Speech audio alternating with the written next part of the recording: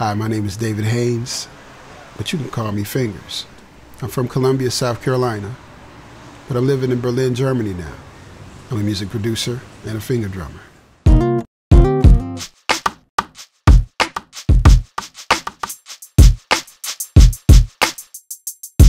I got into finger drumming by just playing whatever was in my environment, really. Um, playing on the washing machine, on, uh, on tables, on the TV.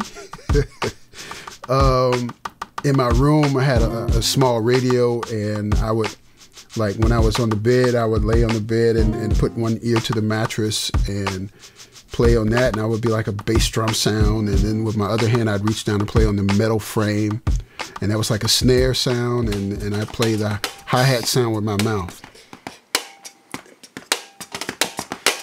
For me, being a finger drummer, it's all about the pads, the sensitivity, man. I used to play the MPC 2000, and uh, up up until last year, I was playing a machine.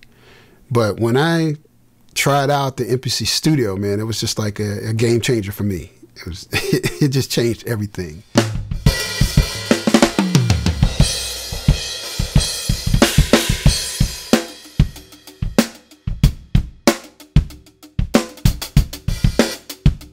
Some of the artists that I've worked with are Prince, Mary J. Blige, Chaka Khan, and people even tell me that I, I play better than I ever have before.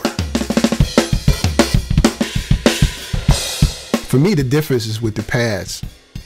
How you can play two, three, four pads at the same time and they all respond the same way, as well as you can layer up to four sounds on each pad, man. It just that just has opened up a whole new world for my playing.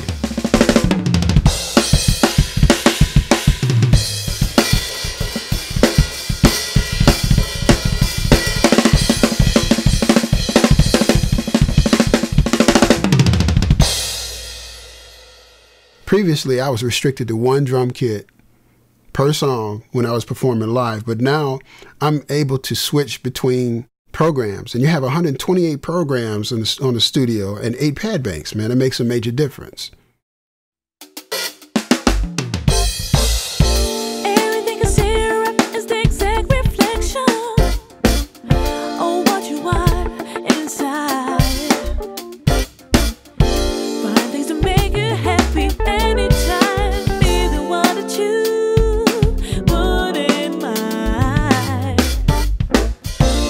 told you it's the.